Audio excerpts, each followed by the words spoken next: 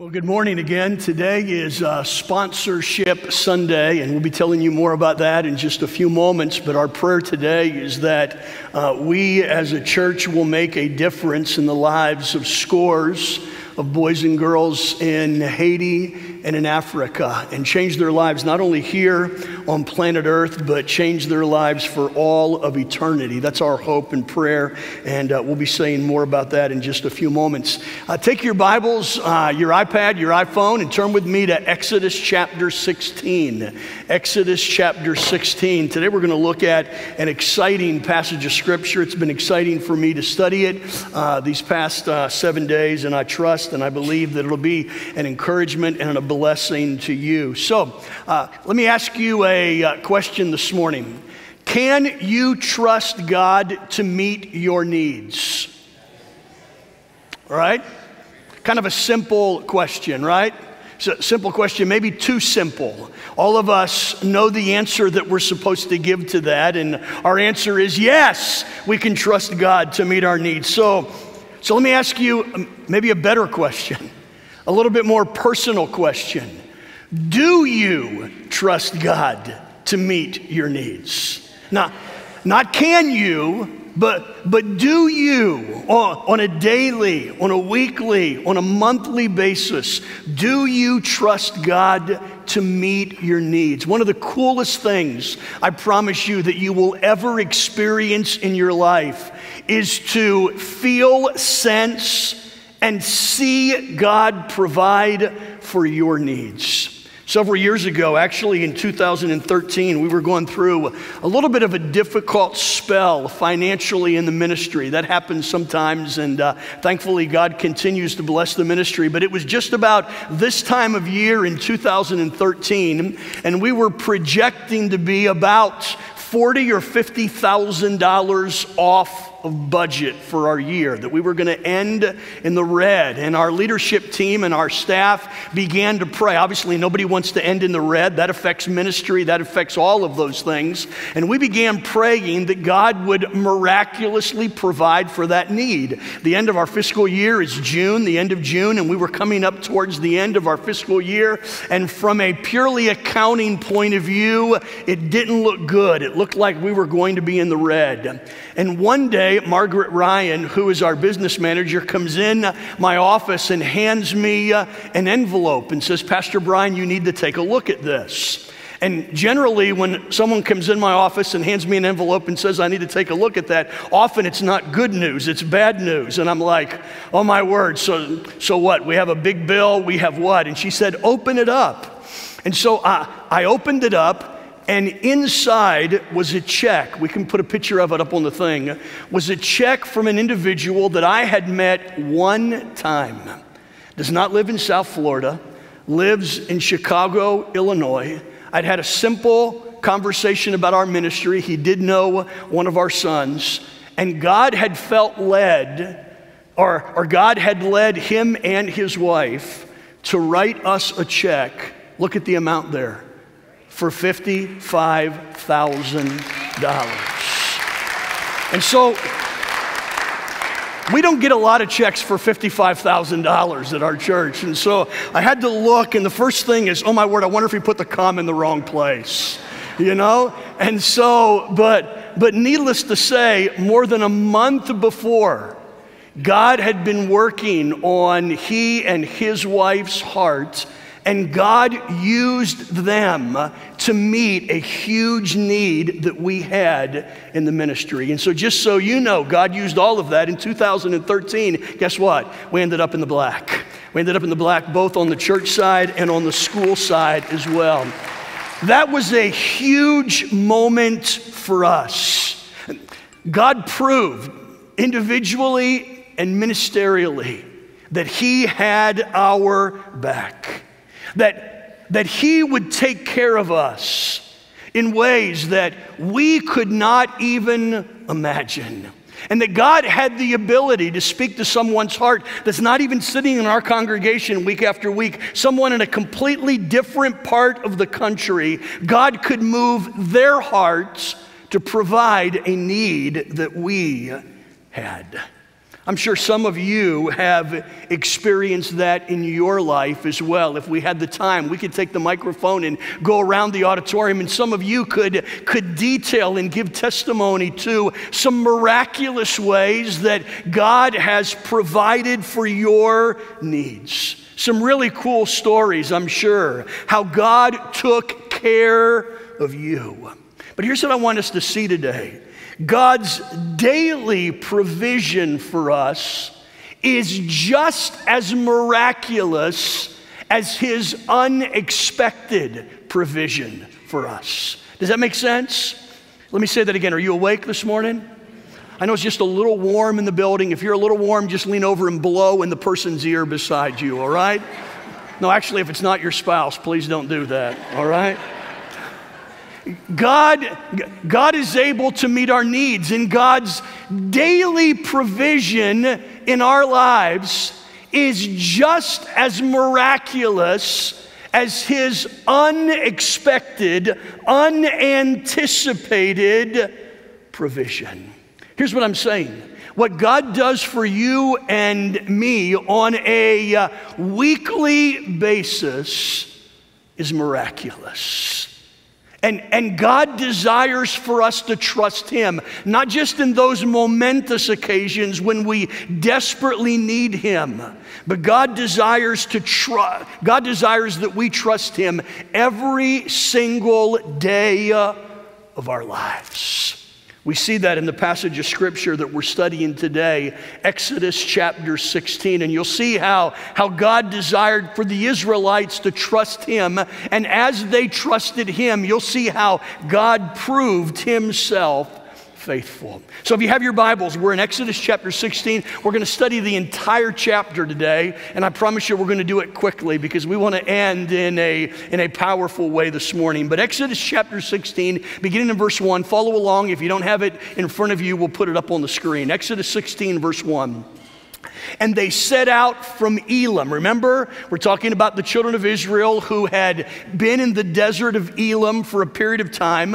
And so now they begin walking across the Sinai Peninsula, heading towards the promised land. They set out from Elim, and all the congregation of the people of Israel came to the wilderness of sin. Let me just pause for a second because we see the word sin and red flags come up, and we think, oh my word, they're going to be going through this wilderness of sin. As far as I know, the name of the wilderness of sin has nothing to do with sin in the children of Israel's lives. And so I don't want us to allegorize and say, oh my word, they were going to be walking through the wilderness of sin for 40 years, all right? That was the name of it, the wilderness of sin. And so they came to the wilderness of sin, which is between Elim and Mount Sinai. Mount Sinai is where they would meet with God and they would receive the Ten Commandments. And so as they as they journeyed towards Mount Sinai, they walked through the wilderness of sin. And after they had departed from the land of Egypt, verse 2, and the whole congregation of the people of Israel, what's the next word? Grumbled against Moses. Any of you ever grumbled before? Have you ever complained before? The children of Israel grumbled against Moses and against Aaron in the wilderness. And the people of Israel said, Would that we had died by the hand of the Lord in the land of Egypt, when we sat by the meat pots and ate bread to the full. Moses, why have you brought us out here in the wilderness to kill us, to kill this whole assembly with hunger. Let's pause there, have a word of prayer, and we'll dig into the passage. Father, I pray that you'd help us not just to see the children of Israel in this passage, but help us to see ourselves in this passage. It's easy for us to condemn them for being ungrateful and unthankful. And Lord, I'm fearful that we do the exact same thing. That you provide us, that you provide for us in ways that we cannot even begin to fully understand. And yet, Lord, like them, we grumble. Help us to see that, that you were fully able to provide for the nation of Israel, and you were fully able to provide for us. Lord, all you want us to do is to trust you. And as we trust you, you prove yourself faithful and you prove yourself strong. Speak to us, Lord. Make us willing to even take steps of faith in our lives that demonstrate our trust in you. And it's in Jesus' name we pray. Amen. So, just a couple of uh, background um, facts so, so we understand what's taking place. It had now been one month since the Israelites had left Egypt. In the past 30 days, they had seen God do four amazing things. You remember, we studied them. First of all, God brought the 10th plague. And by the way, all 10 of the plagues were amazing. But in the last 30 days, they had experienced that 10th plague in which God had came and, and God had killed the firstborn of all the Egyptians. And as a result, Pharaoh said, Get out of here, leave. And he released the Israelites. They had experienced that. In the last 30 days, they had seen God part the waters of the Red Sea. Remember, they were, they were escaping, and, and Pharaoh changed his mind, and Pharaoh was on their tail, and so Pharaoh's behind them. The Red Sea is in front of them, and they had no idea how they were going to survive when God miraculously parts the waters of the Red Sea, and they walk across that sea on dry land. They had seen that. And then, as they walked across the sea on dry land and they looked back and, and they saw the Egyptians pursuing them, they saw God bring the waters back to their normal level and kill all of the Egyptians. And the text says, you'll remember that they saw the dead Egyptian soldiers' bodies on the shore. They'd experienced God doing the miraculous. And then, just a few days later, as they came to Elim and they tried to drink water, the water was bitter, and they cried out to the Lord and grumbled against the Lord. And the Lord made the bitter water sweet. Four times in 30 days, God demonstrated his power in their midst. Now, you would have thought, and I thought, that after experiencing four ginormous miracles. I'm not sure whether that's a word or not, but after experiencing four ginormous miracles in just four weeks, that the faith of the Israelites would be rock solid. That there would be nothing that would move them, there would be nothing that would cause them to doubt. To the contrary, they would be completely dependent and believing in God. As you see in the passage, though, that was not the case. After leaving the oasis of Elim, they travel into the desert and they quickly begin to grumble and they quickly begin to complain. Here's the first thing that I wrote in my notes that you have today. The first thing is this it is easier to complain than it is to have faith. Is that true?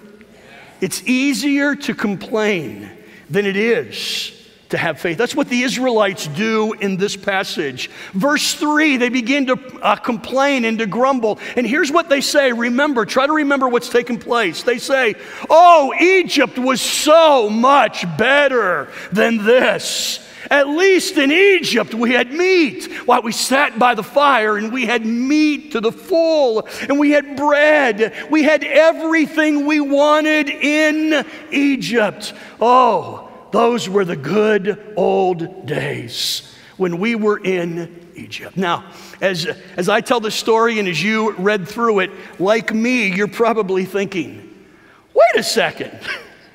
Wasn't it just a few months ago that they were crying out to God?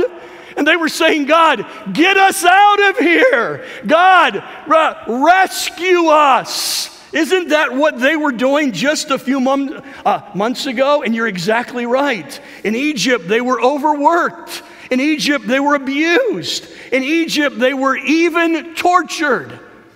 And yet now, for some reason, they look back on their time in Egypt with a selective memory. And they can't remember the bad things that were taking place. They just remember the good old days in Egypt. So I was thinking about that. I thought, what is up with the Israelites? How in the world could they have responded that way? Why, they were forgetful, they were ungrateful, they were faithless. Now, pause with me for just a second. And before we are quick to judge the Israelites, we need to realize that, like the Israelites, you and I often forget what God has done in our lives. Am I right? we often take for granted the blessings of God. God's goodness, God's grace becomes so commonplace in our lives that we frequently take it for granted. Let me, let me explain what I mean. Guys, married guys today, you have a wife that loves you. That is a demonstration of grace. You said, Brian, what are you talking about? L- listen, she loves you in spite of the fact that you throw your socks on the floor. She loves you in spite of the fact that, that you leave the toilet seat up when you get done. I think I'm allowed to mention the word toilet in church, aren't I? You leave the toilet seat up. Uh, she loves you in spite of your quirks, in spite of you. Listen, that is a demonstration of the grace of God in your life. God's given us healthy children. God's given us healthy grandchildren. You have a job. You have a nice home. Many of you have two cars in the driveway. You have a closet full of clothes and at least the beginnings of a 401k. You have years of good health in your life. And then all of a sudden, we experience a difficulty. We experience a trial. We experience a financial pressure, pressure in our life. And what do we begin to do? We begin to grumble. We begin to complain. How could my boss just let me go like that? How could my friend treat me that way?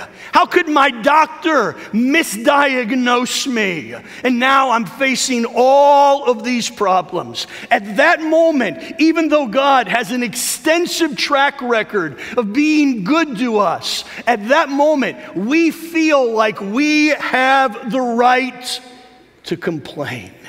Do we not? And we complain and we grumble. Here's what I want you to catch, and we see it in the passage. Whenever we complain, even though we're complaining against a boss, or even though we're complaining against a doctor, or even though we're complaining against a friend or a loved one, we need to realize that in reality, our complaints are against God. They're not against that person. Our complaints, our grumbling is against God and what God is doing in our lives. Let me, let me show you that from the passage. Notice verse 6 as we continue reading. Verse 6 So Moses and Aaron said to all the people of Israel, At evening you shall know that it was the Lord who brought you out of the land of Egypt. And in the morning you shall see the glory of the Lord, because he has heard your grumbling against the Lord. By the way, if you have a pencil and you have an old fashioned Bible, it'd be good just to circle how many times you see the word grumble in all of this all right? For he has heard your grumbling against the Lord. For who are we or what are we that you grumble against us? And Moses said, When the Lord gives you in the evening meat to eat and in the morning bread to the full, because the Lord has heard your grumbling that you grumble against him, what are we? Notice this phrase your grumbling is not against us. Read the rest of the verse with me, but against the Lord. Here, here's what Moses is telling the children of Israel whenever something happens in your life that you don't like, and you complain. Your grumbling is not about your situation. Your grumbling is not about your job. Your grumbling is not about your spouse. Your grumbling is not about your financial complaint, uh, a planner. You are complaining. You are grumbling against the Lord and what He has done in your life even though we would never dare to accuse God of unfaithfulness. In reality, that's what we are doing because we sit back and we question the very sovereignty of God in our lives. Notice how Moses describes it in the chapter over and over again. He says that they were, they were grumbling, and then he says, Your grumbling is not against me. Your grumbling is not against Aaron but you are grumbling against no one else but the Lord. Here's what I wrote in my notes. Wow. What a, what a powerful statement. Whenever I complain, and I can complain with the best of them, all right? I can grumble with the best of them. But I need to realize that when I do that, I'm not grumbling against any other person or any other situation. In, uh, I am literally complaining against what God is allowing to take place and to transpire in my life. Notice the words of Paul in Philippians chapter 2 and verse 14. Paul says this Do all things without grumbling or disputing. Now, I'm not the smartest person that's ever lived, but I do know that the phrase all things means what? All things. He, he doesn't say, don't grumble about most things. Or, or every once in a while, you're going to have a right to grumble and complain. No, he says what? Do all things without grumbling or disputing or complaining or bickering or causing a problem. Why is that?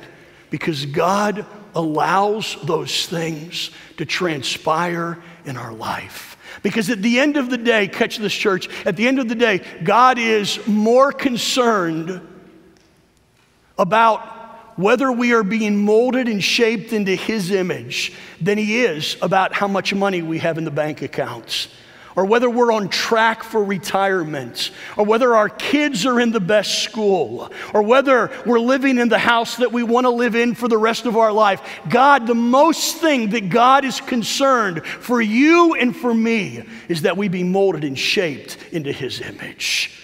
And so we need to sit back and realize that God even allows the difficult things that happen in our life to test us and to prove us and to grow us and to sanctify us. We see that here in the passage of Scripture. That's exactly what he's doing in the life of the Israelites. Let me show you a second truth from the passage. The second truth is this God has promised to provide our daily bread.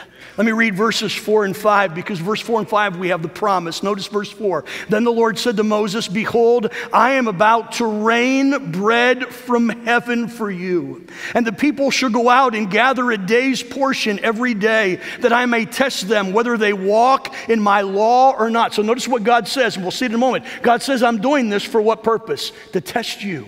I'm doing this to grow you. I'm doing this so that you might be more sanctified in my sight. Verse 5 On the sixth day, when they prepare what they bring in, it will be twice as much as they. It will be twice as much as they gather daily. Verses 4 and 5 in the promise is the promise. Verses 13 through 17 is the fulfillment. I know we're racing through the chapter, but jump with me to verse 13. Because in the beginning of the chapter, God tells them what He's going to do. In verse 13, He does it. In the evening, quail came up and covered the camp. And in the morning, dew lay around the camp. And when the dew had gone up, there was on the face of the wilderness a fine flake like thing, fine as frost on the ground. When the people of Israel saw it, they said to one another, What is it? We'll see that in just a moment. For they did not know what it was. And Moses said to them, It is the bread that the Lord has given to you to eat. This is what the Lord has commanded gather of it, each of you, as much as he can eat. You shall take an omer, and omer is about two quarts or about seven pints. You shall take about seven pints according to the number of the persons that each of you has in his tent. And Israel did so. Some gathered more, some gathered less. So, so God told them, I'm going to provide bread for you. And the next morning when they woke up, guess what there was? There was bread on the ground. They called it manna. The word manna literally means, you see it in the passage, the word manna literally means, what is it? and so as they came out on that first morning and they saw that God had provided just as He promised He would, they looked at the provision and their first question was, What is this? That's what the term manna means. What is it? Later in the chapter, you can read later on that manna is described as small little white wafers that tasted as sweet as honey. It was like nothing that the Israelites had ever tasted before. Notice several things about God's provision of this manna that applied to them, and, and we'll see in just a moment that applies to us. First of all, the manna that God gave them was supernatural. It was supernatural. Um, uh, uh. They didn't have to. Uh, they didn't have to do a lot of work for it. They didn't have to go to the store and buy it. It's not like they went down to the supermarket and said, Man, give me a, give me a French baguette. Give me an Italian ciabatta. Give me a, a Cuban loaf of bread. I want a Cinnabon. No, God gave it to them. Each and every day, their bread was received from heaven. Could you imagine every day the food that you eat coming from uh, nowhere else but heaven itself. Notice verse 4 once again. Then the Lord said to Moses, Behold, I'm about to rain bread from where? From heaven for you. The manna that God gave them was supernatural. Notice the second thing as we race through this the manna was sufficient for them. Verse 4 says, The people shall go out and gather a day's portion every day. So here's what he said Every day you're going to wake up and there's going to be this dew over the land. Every single day, I'm going to provide for you exactly what you need. Let me pause there for a second and say this. Like the Israelites, you and I need to realize that God will give us exactly what we need each and every day. God will give you exactly what you need today. It's interesting that God never promises to meet tomorrow's needs today. We, we, we live in a culture that likes to stockpile, do we not? I mean, we go to Costco and we buy in bulk because we just don't want the little box of cereal. We want the big box of cereal, right? We want to make sure that we have enough. Or you just don't want the little jar of peanuts. You want the huge jar of peanuts. You don't want just enough today. You want enough for today, for tomorrow, and next week. And yet we see in Scripture that God never promises to meet tomorrow's needs. God's provision is promised one day at a time. Remember the Lord's Prayer in Matthew chapter 6 and verse 11? We're told to pray, Give us this day our daily bread. And so the next day we pray what? Give us this day our daily bread. That's what God did. Day after day after day after day for 40 years. He provided for the Israelites exactly what they needed. Day after day, year after year, decade after decade, God gave them enough bread. As a matter of fact, if you look later in the chapter at verse 35, it says this The people of Israel ate the manna 40 years till they came to the border of Canaan. I thought, let's do the math. Let's just do the math how much God provided for them. And so I kind of put this mathematical equation up there. Seven pints, which is how much they gathered per person per day, times three million people, which, which they estimate between two and a half to three million people, times 365 days per year, times 40 years. How much bread is that? One huge miracle. By the way, I didn't do that math. Russell Johnson, one of our pastor's friends, did that math and did the equation, so I was just able to steal from him. Listen, if you could sit back and count how much God has provided for you in the last year, in the last five years, in the last 10 years, in the last 30 years, in the last 40 years, you know what that would be in your life? It would be one huge miracle. But because we don't see it in bulk, we tend to what? We tend to take it for granted. What if God came down today and said, Brian, here's what I'm gonna do. I'm gonna give you today everything you need for the rest of your life. And God said, Hey, go buy a bigger house, go buy some barns, go rent a warehouse. I'm gonna give you everything you need for the rest of your life. Boy, it would be huge, I'm sure, what God has for us. And it would be for you as well. But He doesn't do that. Why is that? Because He wants us to trust in. And so He gives us each and every day our daily bread. Notice it's really interesting that they were commanded not to hoard the stuff. They were commanded not to stockpile the stuff. Somebody could have sat back and thought, man, the, this bread tastes like Krispy Kreme donuts. These are fantastic. I want to make sure and have these every single morning. So instead of seven pints, I'm going to get 14 pints and I'm going to stockpile a little bit away every day. Could they do that? No, because the next day it what? It's spoiled. It turned to worms. God literally told them, Don't hoard what I'm giving you, because when you hoard what I'm giving you, it's a demonstration of a lack of faith. Trust me each and every day. So here's what I wrote in my notes Hoarding God's supply is unproductive and senseless. Now, listen, I'm not telling you to don't put money away for a rainy day.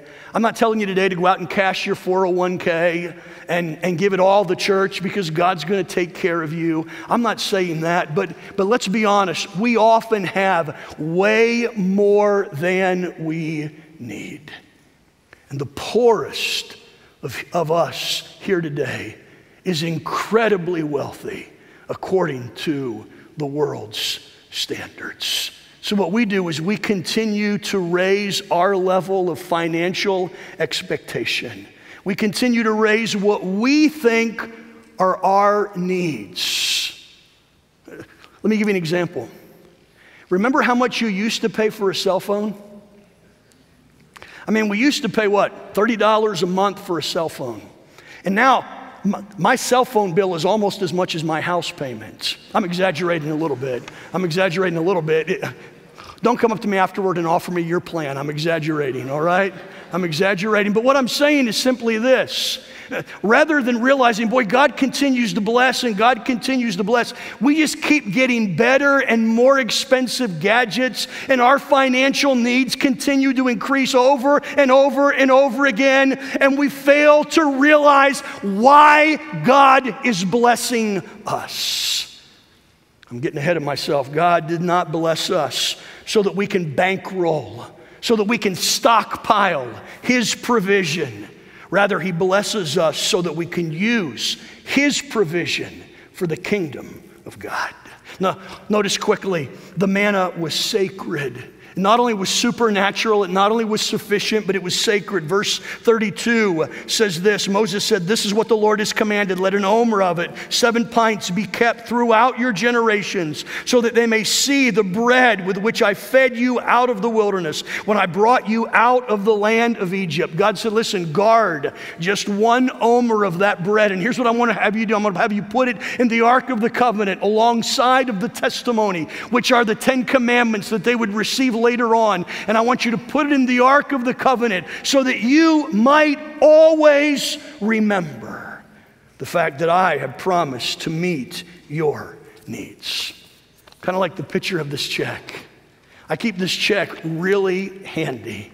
Because whenever I sit back and begin to doubt, oh my Lord, how are we going to do this? Or God, how are you going to do this? I pull this check out on a frequent basis. It's a reminder to me that God has our back. It's a reminder to me that God will meet our needs. Let me show you a fourth thing in the passage. The manna was not only supernatural, was not only sufficient, it was not only sacred, but the manna was sanctifying. You see, the daily collection of the manna was part of their spiritual growth. The daily collection of the manna was a way in which their faith increase. Let me show you some verses. We're going to bounce through. Notice verse 4 of this chapter. We saw it just a few moments ago. Then the Lord said to Moses, Behold, I'm about to send rain from heaven for you, and the people shall go out and gather a day's portion every day. Now, you, like me, might have sat back and said, Okay, Lord, let me help you out on this. All right, we can help you. It'd be a whole lot better if you'd give us a month's portion at a time. Or it'd be a whole lot easier for you if you'd give us a year's portion at a time. But God said, No, there's a reason why I'm giving it to you every single day. Notice, every day you shall go out and gather a day's portion. Every day, what's the next phrase? That I may test them. to see whether they will walk in my law or not. God said, I'm only going to give you what you need today. Why? Because tomorrow is going to be an exercise of faith. And the day after that is going to be an exercise of faith. And the day after that is going to be an exercise of faith. And every day you are going to be reminded that you need me. You cannot live by bread alone. You, you, you, desperately need me. So notice verse 22. Here's what they were encouraged to do. Verse 22. On the sixth day, though, they went out every day first day, second day, third day, fourth day, fifth day. On the sixth day, they went out and gathered twice as much. And so instead of gathering one omer or seven pints, they were to gather individually two omers of four or, or 14 pints. And when all the leaders of the congregation came and told Moses, he said to them, This is what the Lord has commanded. Tomorrow is a day of solemn rest a holy Sabbath to the Lord. Bake what you will bake and boil what you will boil, and all that is left over lay aside to be kept till morning. Now, here's another miracle because if they would have done that on Monday, what would have happened the next morning? It would have spoiled. If they would have done it on Tuesday, the next morning it would have spoiled. But on the sixth day, every single sixth day, they took twice the amount. They baked twice the amount. And they woke up, what? It was good. And God provided for their needs. Verse 23 Tomorrow is a day of solemn rest, a holy Sabbath to the Lord. Verse 24 So they laid it aside till the morning as Moses commanded them. And it did not stink nor did it have worms in it. Listen, here's what I wrote in your notes, and I want you to catch this. Every week, the Israelites collected manna for six days and rested on the Sabbath day, trusting God to provide the food that they needed. Now, what if they went out, went out on the sixth day and said, you know what? I'm just going to get enough for today. That's all I'm going to get, just enough for today. And they didn't trust God. And they came out, which some of them did. They came out on the seventh day to gather food. And guess what? There was no food. And, and God chided them. Where is your faith? Why don't you listen to me?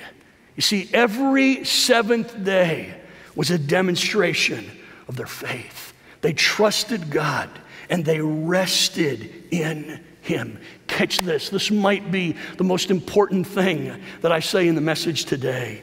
Likewise, your faith is activated when you rest in God's ability to multiply your efforts and to provide for your needs. Let me say that again. Your faith is activated whenever you rest in God's ability to multiply your efforts and to supply your needs. We don't have the time to talk about it today. We're going to talk about it one day because rest is such an important principle in Scripture. Rest is God's plan for our lives. You might say, you, might say, that's what I'm talking about, Brian. Tell my wife that when I go home and take a nap this afternoon for two hours. All right, that's not the kind of rest that he's talking about in the passage, even though I want you to take a, a, nap this afternoon. That's not what he's talking about. To rest does not convey the idea of taking a nap, but rather of ceasing from our labors and trusting in God. You see, we work five or six days and we rest, trusting God to multiply our efforts. We, by faith, give to God's work. Who can afford to do it on a regular basis? But we, by faith, do that week after week, giving to God's kingdom work by faith. And we rest, trusting God to meet our needs. By the way, that's where a lot of people have never gone because, they want to sit back and they want everything to mathematically equate, to everything to come out, and it doesn't always come out. Why? Because it is a life of faith. And, and resting is sitting back saying, God, I'm not going to worry about this. I'm not going to fret about this. I am going to trust you. I'm going to rest in you. I've done the best I can, but I'm going to rest in you and trust in you. We teach God's word and minister to our community and rest, trusting that He will build His church. It's His work. How about you today? Have you learned to trust in Him? Have you learned to rest in Him? Let me challenge you today test Him, try Him, prove Him, rest in Him, and allow Him to prove Himself faithful. The Israelites did. And for 40 years, God met their needs. And I promise you today, I promise you that just as God met the needs of the Israelites, his people, he desires to meet your needs as well. That doesn't mean he's not going to test us. That doesn't mean he's going to try our faith.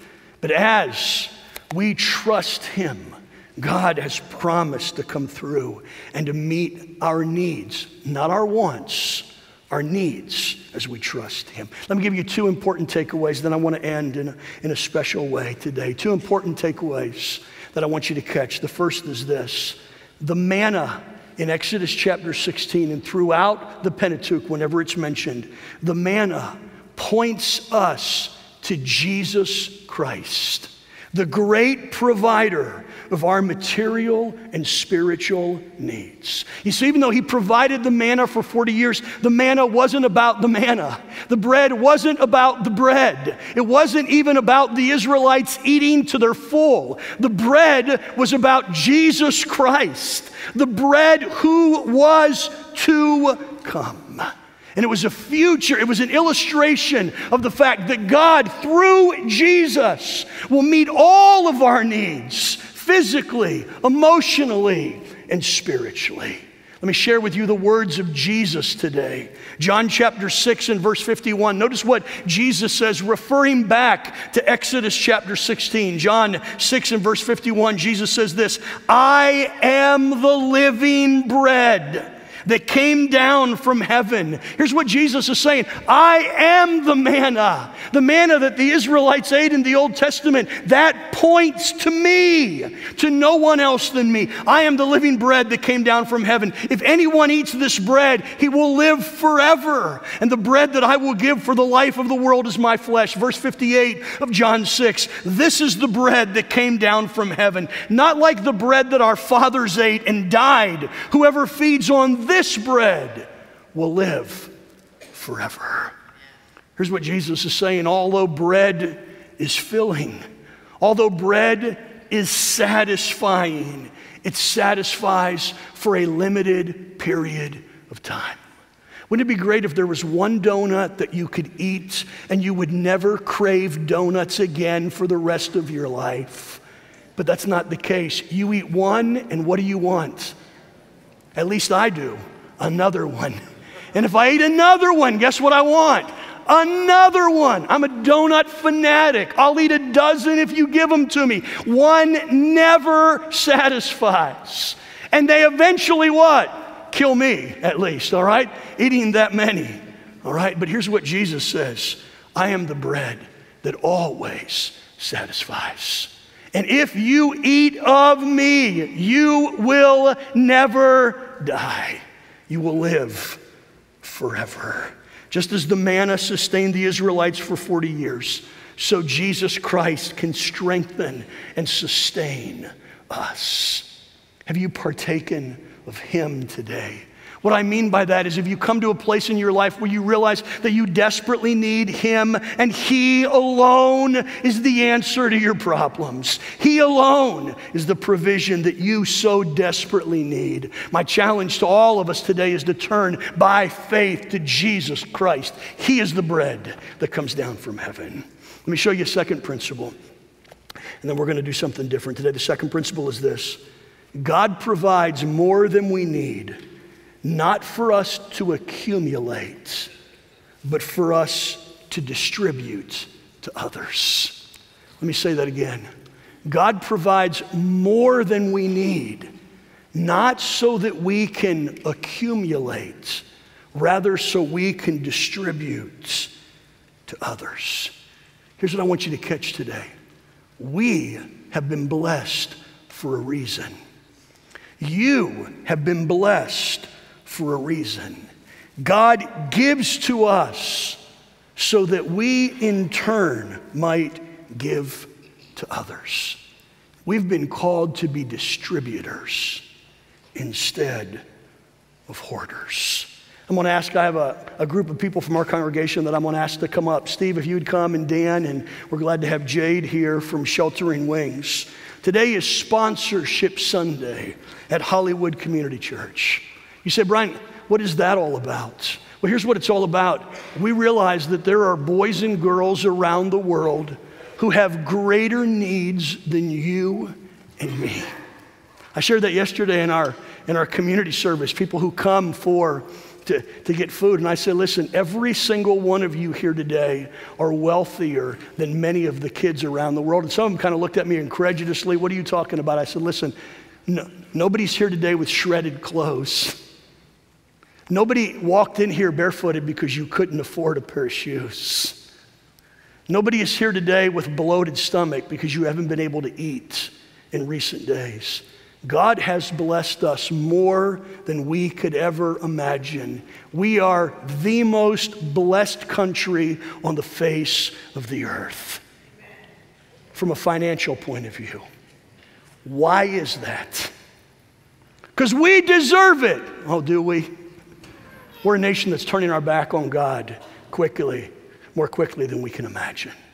God has blessed us, you, me, for the purpose of being a blessing to others. And so today we want to we want to challenge you to, to take what God has given you and impact the life of a child.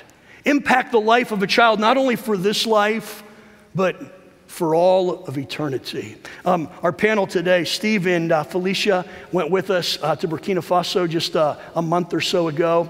Dan kind of uh, heads up, uh, not kind of, Dan heads up our, our Haiti ministry and coordinating our work in Haiti, our sponsorship. And Jade, we're glad to have Jade Beckman with us. Jade is on staff at Sheltering Wings, which is the mission organization of Amy. And uh, Jade flew down just to be with us today, kind of heads up their finance and administration. So I kind of just want to ask them a couple of questions and you hear from them today. Because you hear from me all the time. Probably hear from me too much, but I want you to hear from them. And so I just kind of want to ask them a couple of questions because all of them believe in what we're talking about today. So, so Steve, let me first start with you. You and Felicia have, have supported a child and I believe a widow for a period of time.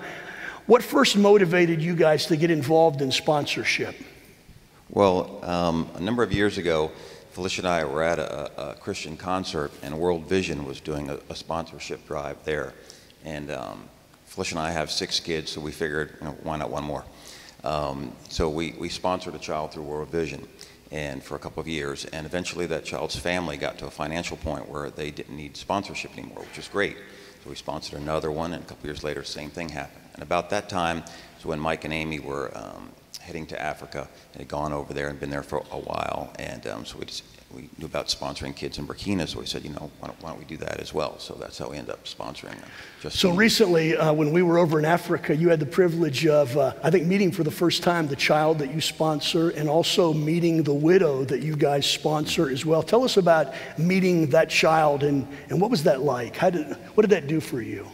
Well, it, it was a, a, really rewarding experience, a very humbling experience. Um, Justine, the little girl that we sponsor, um, uh, she's not an, an, orphan. Her mother, um, um she lives with her mother, but um, her mother can't afford to send Justine to school. In Burkina, they um, have public schools, but you have to pay to go. So if you can't afford, you don't get, get to go.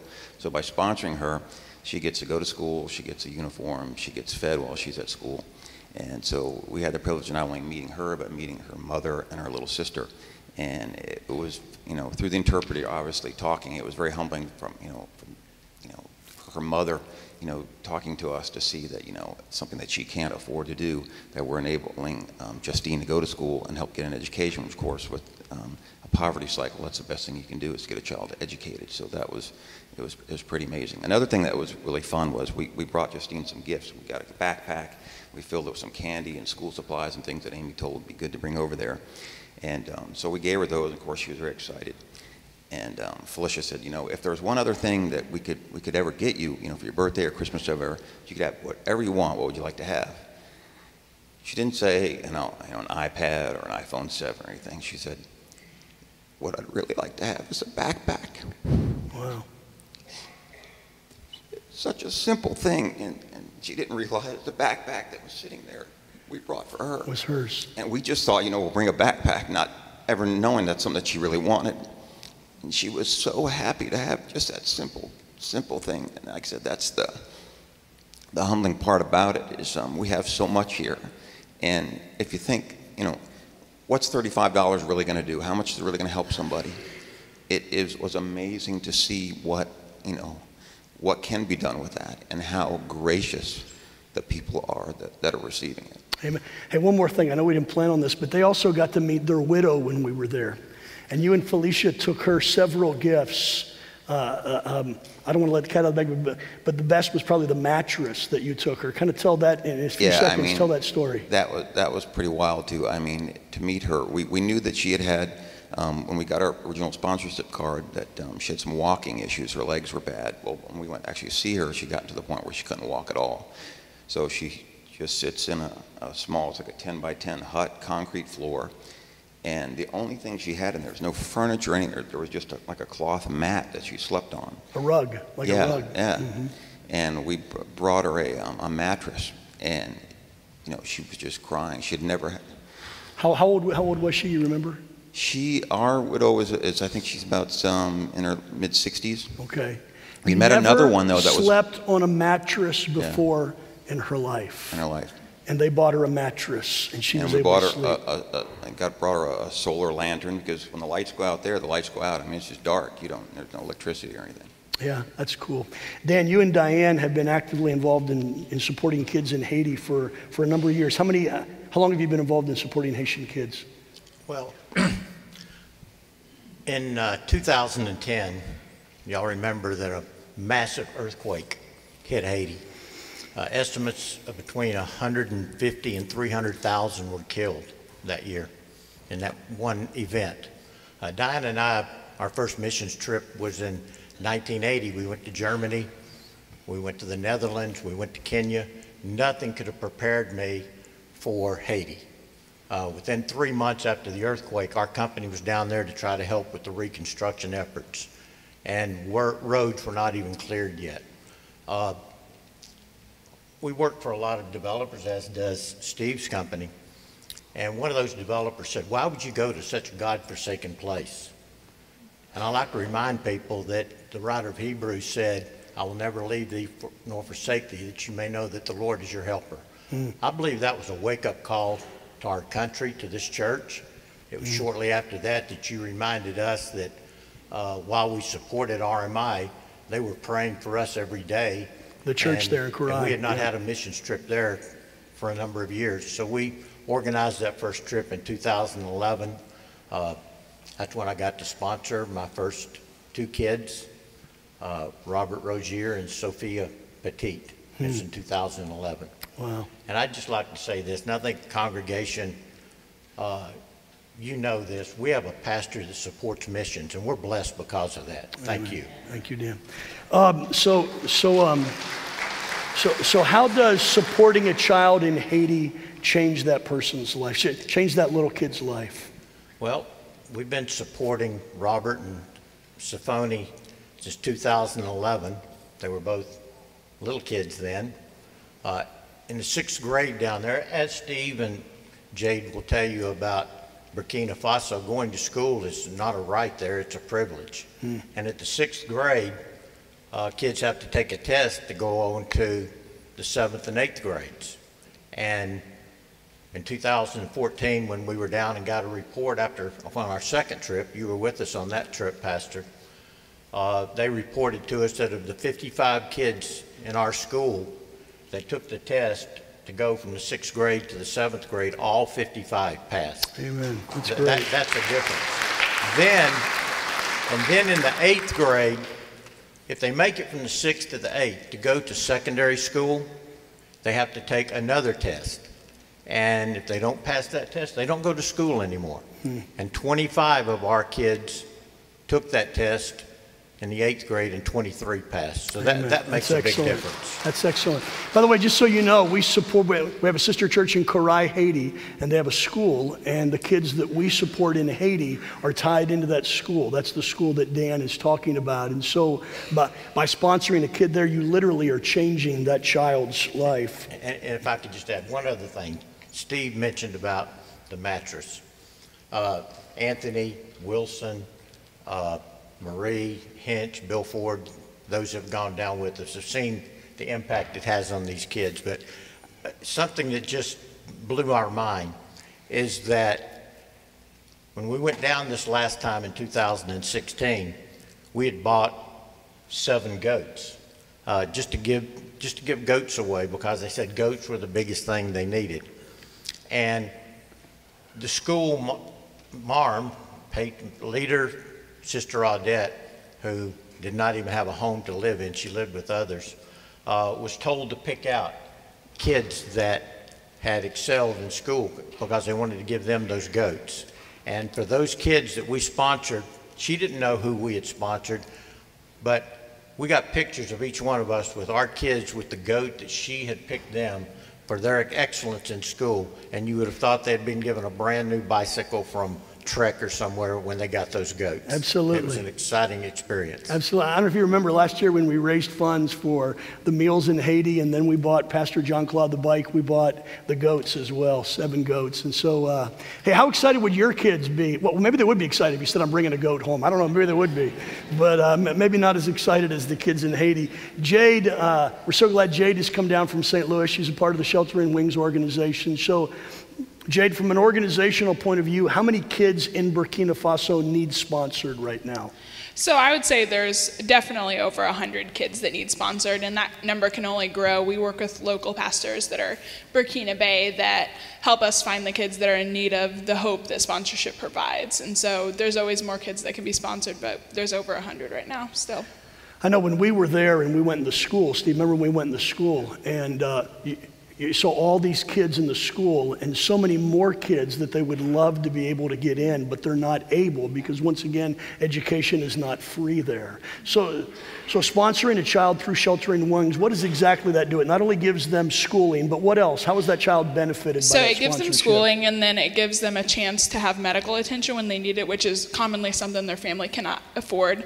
Um, it gives them some food to be able to eat and have a meal every day at lunch, you know, at school or even at home.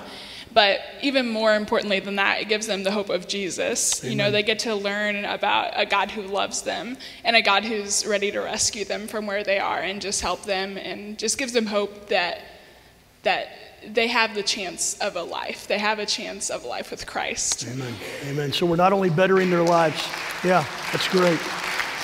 We're not only bettering their lives here, but but we're But eternally. but, yeah. but granting them, or obviously we're not the ones that granting them, giving them an opportunity to, to know Jesus and, and have eternal life. So, so quickly, Jade, how does somebody, so we're out here, um, how does somebody support? They have to write a check today for $420 to support the child all year long, or how is that done? Absolutely not. No, you can pay a simple $35 a month. And for me, we recently started sponsoring two kids, and I gave up my my daily coffee runs so that so that we can sponsor these kids. It's simple. It's $35 a month, and I think that um, with the great things we're blessed with here in the states, these kids can have that chance of hope.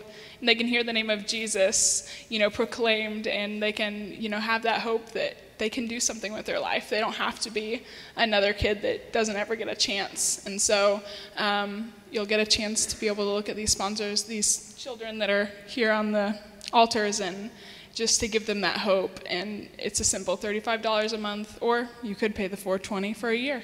Yeah. Or 840 for two years. Or, yeah, yeah. yeah, you can do whatever you want. Listen, let's give them a hand. Thank you so much, Dan and Jade and, and Steve. Thank you for sharing your story. And we could talk about other people in our congregation that have done this. As a matter of fact, I don't know exactly what the number is. Dan and, and, and Jade might know the number, but, but many of you have already stepped up to the plate and done this. I'm not sure I can think of a better investment of the provision that God gives to you. I'm not the Holy Spirit of God today. So I have no idea what the Holy Spirit is telling you. I know four or five years ago, God encouraged Vicki and I to do it, and we sponsor a child in Burkina Faso. I was able to meet Daniel just a few months ago.